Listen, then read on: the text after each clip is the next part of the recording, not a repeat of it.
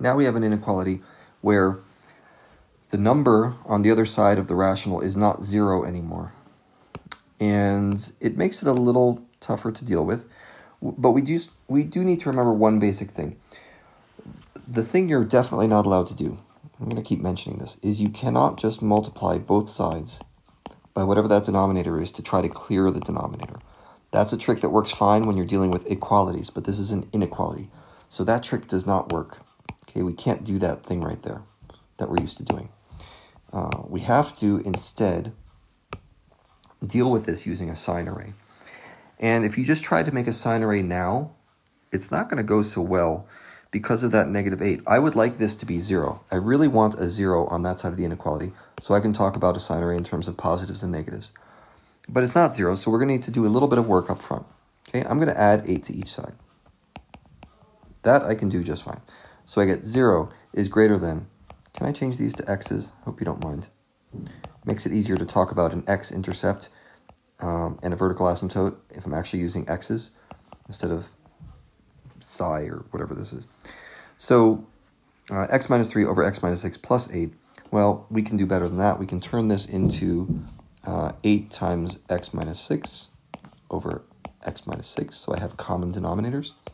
And now this is going to be 0 is greater than something over x minus 6, and that something is going to be x minus 3 plus 8x minus 48, okay, which we can simplify further to get to 0 is greater than 9x and minus 3 minus 48, that makes minus 51. 9x minus 51 over x minus 6. So now I'm ready for, to build a sign array. Okay, I have, let's see, let's color code these things just to keep track. That right there is my vertical asymptote.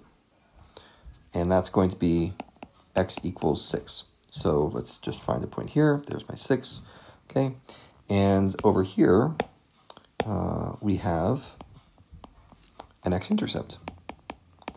And that is going to be at, well, it looks like 51 over 9, comma 0.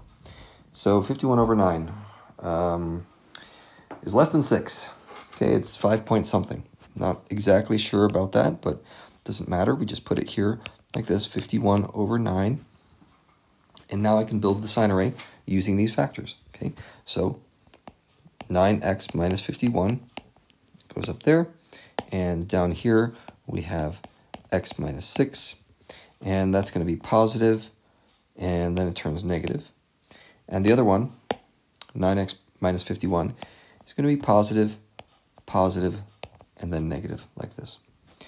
So we add up our multiplication signs, or really I should say we multiply them.